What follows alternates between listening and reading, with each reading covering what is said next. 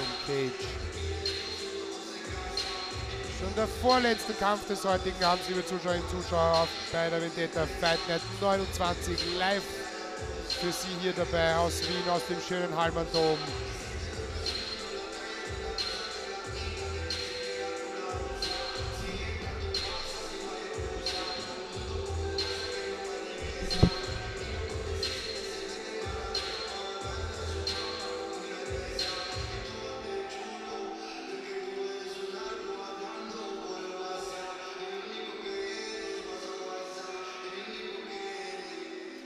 Mal die letzten Instruktionen von den Coaches. Die obligatorische Cutman-Behandlung. In dem Fall Cut-Woman. Dann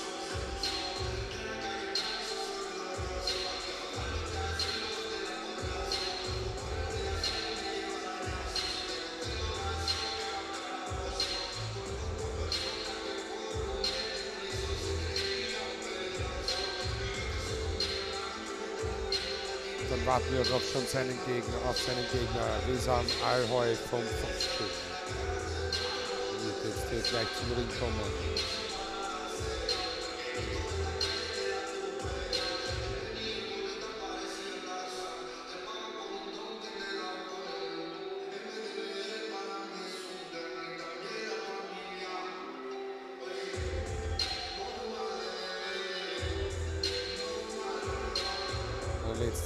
Letzte Check des Kämpfers, bevor es in den Cage geht.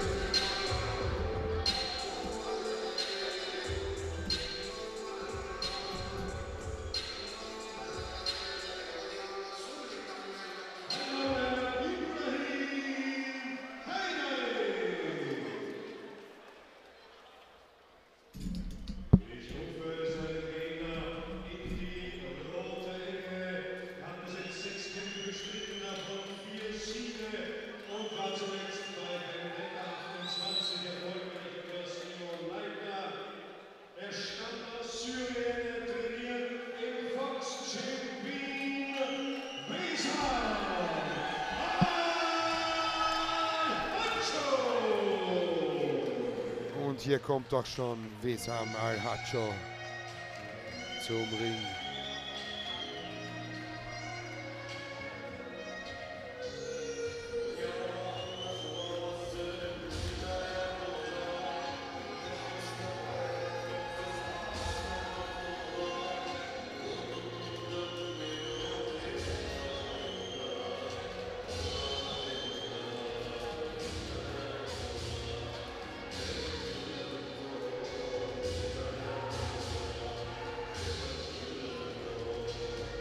Wird hier begleitet von der Fox Gym Crew.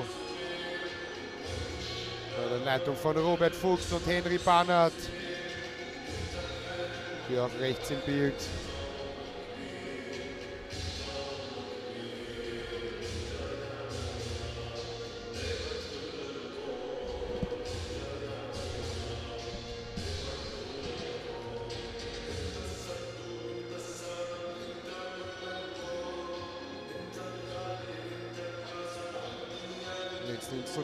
Kontrolle durch unseren Cutman Roland Eicher. Und dann starten wir auch gleich in den vorletzten Kampf des heutigen Abends, liebe Zuschauerinnen und Zuschauer, bei der Vendetta Fight Night 29.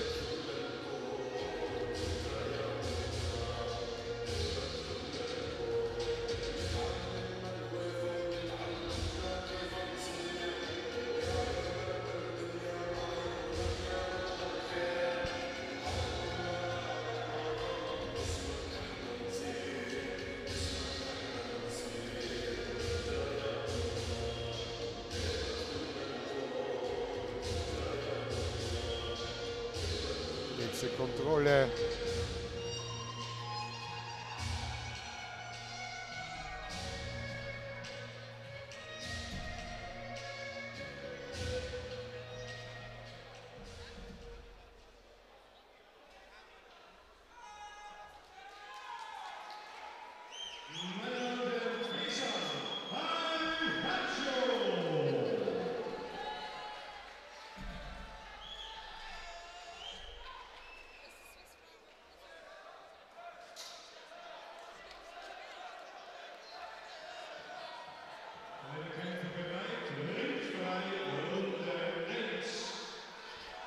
Und jetzt geht es ja auch gleich schon los mit der ersten von drei Runden zwischen Wesa Malhayo und Ibrahim Haidari.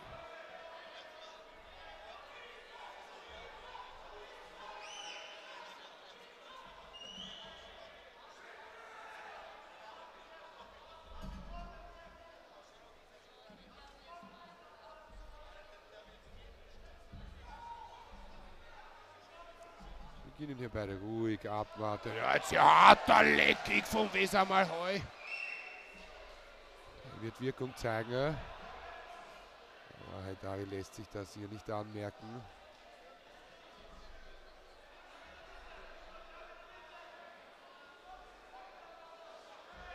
Und wieder harter Leckig, aber Haidari kann den schön rausdrehen.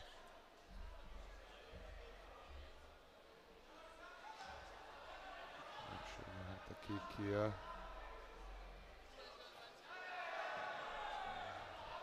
Er versucht immer wieder den Leg. Ja. Er kann sich hier kurz einen Takedown sichern. Ja, und jetzt wieder. Schöner Takedown von Haidari, aber Alheu setzt hier gleich an. Zu einem Joke bringt er den durch. Haidari kann sich hier noch gut verteidigen. Er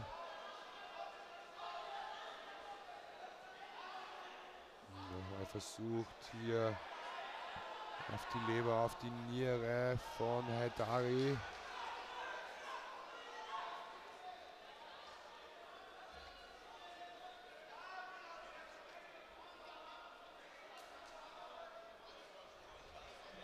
Haidari macht es aber gut, sichert sich jetzt hier die Halfguard.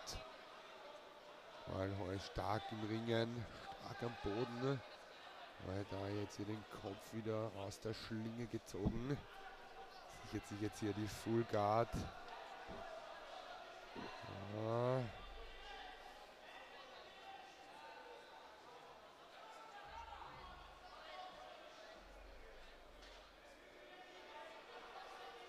Machen das hier beide sehr gut, sehr versiert am Boden. Versuchen dem Gegner jeweils wenig Platz zu lassen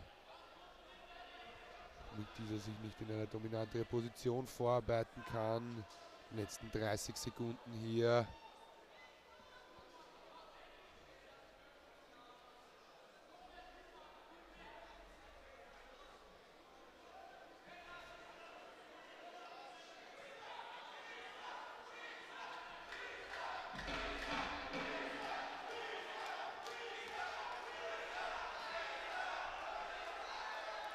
Dari macht das hier sehr gut, sehr dominant. Und ist das Ende der ersten Runde.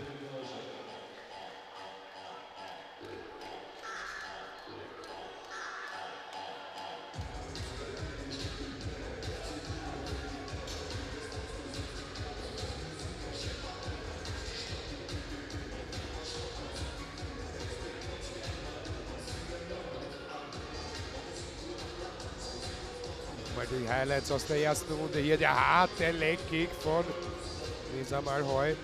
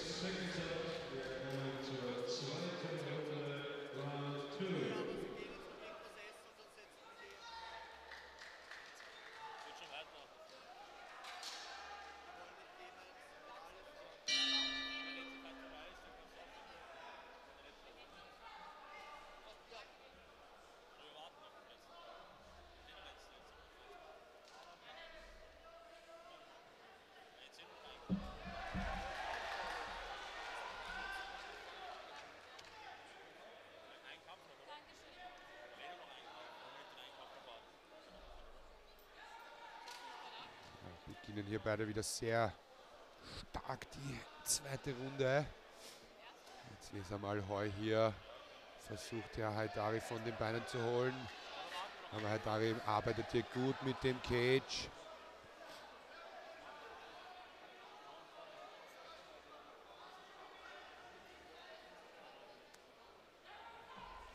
Mal Heu hier. Sehr kräftezehrend diese Aktionen.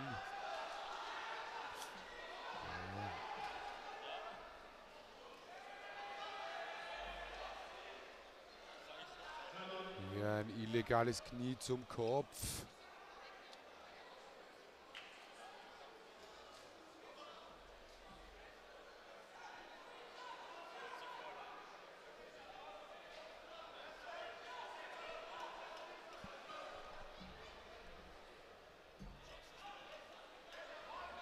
Wesam hat sich hier wieder erholt. Wird auch gleich weitergehen. Wird die Runde wieder freigegeben hier vom Ringrichter. Ja, jetzt versucht hier Wesam den Single weg.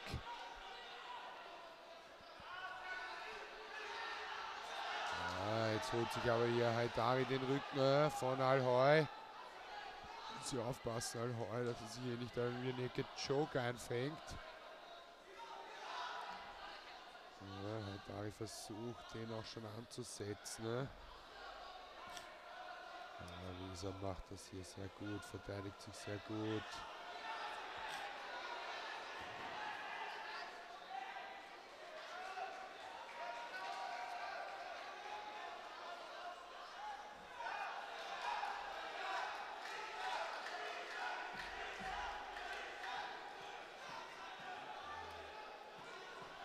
Haidari hier der bestimmende Part am Boden. Ne? Hat jetzt die Hooks auch schon drinnen. Jetzt seine Hand noch frei bekommt. Könnte er den Sack vielleicht zumachen.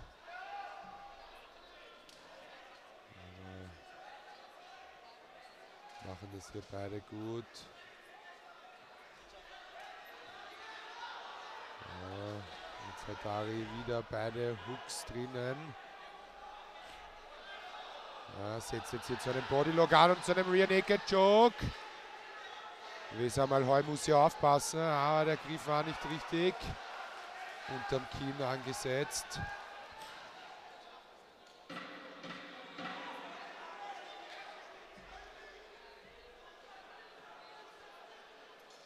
Letzten 10 Sekunden hier in der zweiten Runde. Jetzt noch getrennt.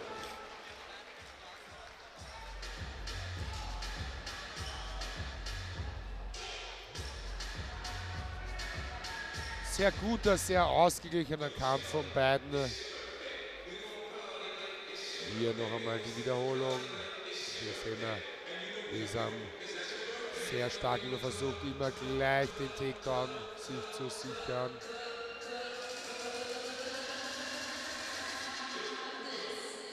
Und das sehen natürlich auch die Judges.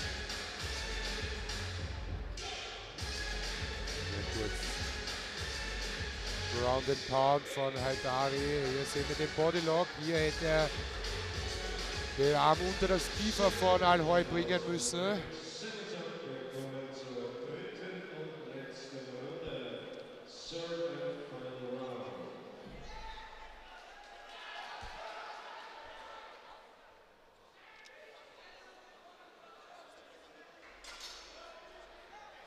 Und jetzt beginnt auch hier gleich die dritte und letzte Runde in unserem MMA Amateurfight zwischen Wesam Alhoi und Ibrahim Haidari. Ja, jetzt geht der Alhoi mal zu Boden. Ne? Ja. Will hier das Geschehen auf den Boden verlagern. Ja, hat jetzt hier Haidari im Clinch, aber Haidari hier mit einem schönen Sweep in der Full Guard.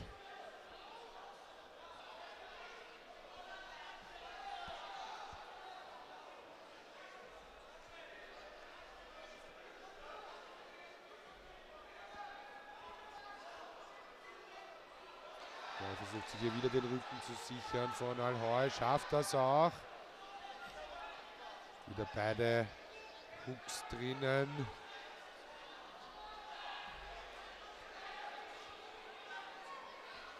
Wesam versucht hier aufzustehen. Und hier Schönes Ground and Pound von Haidari. Versucht hier wieder einen Rear Naked Choke anzusetzen. Mit dem Bodylock ist er schon drinnen.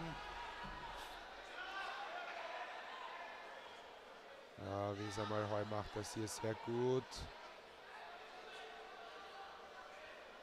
Beteiligt sich hier nicht schlecht.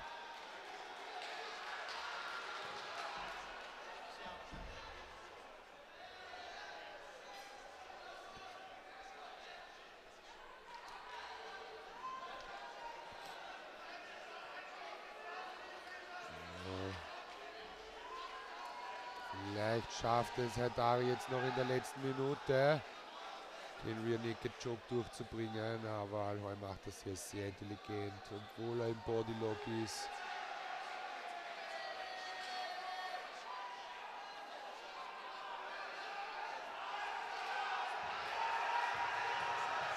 Alhoi mobilisiert hier nochmal seine letzten Kräfte und sweept hier Haidari. Versucht sich jetzt hier gleich die dominante Position zu sichern, ist jetzt in der Full Guard. Muss schauen, dass er hier seine Hände frei bekommt.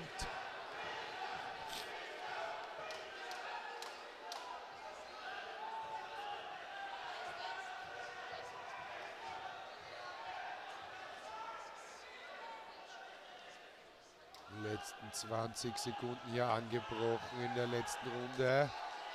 Müssen wir beide jetzt nochmal alles geben, alle Reserven, alles mobilisieren, was noch im Tank ist. Um die Judges von sich zu überzeugen. Ne?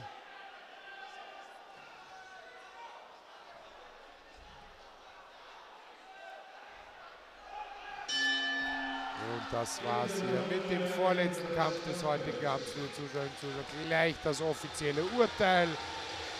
Und da darf ich Ihnen auch schon den letzten Kampf des heutigen Abends ansagen. Ein Pro-MMA-Fight in der Gewichtsklasse bis 77 Kilogramm. In der roten Ecke der Lokalmatador Patrick, der Panzerspirk vom Team Panzer. Gewicht gemacht mit 77 Kilogramm, 31 Jahre alt, zwei Siege, zwei Niederlagen in seiner Bilanz vorzuweisen. Ihm gegenüber steht Nikola Urgakovic vom Jim Kinesevic aus Serbien. 1,81 Meter groß, 26 Jahre jung. Eine Bilanz von zwei Niederlagen vorzuweisen bisher. Dreimal fünf Minuten hier im MMA Pro Sektor.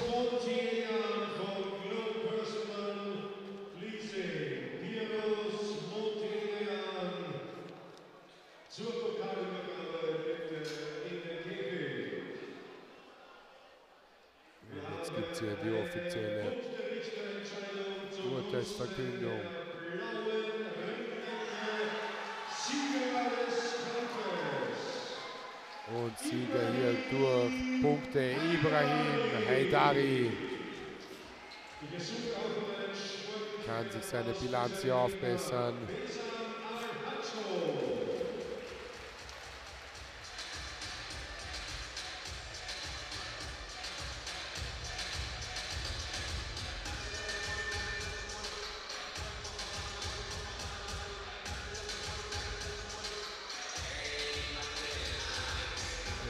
Jetzt noch die Pokalübergabe, das Siegerfoto.